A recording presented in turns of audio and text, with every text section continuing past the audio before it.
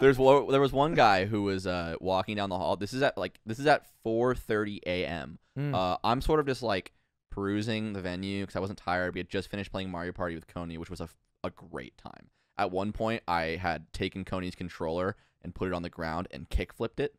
Uh, a new bit, very good new bit. yeah. Um, so I'm I'm walking around the venue. I eventually sit down on this couch to like check my phone.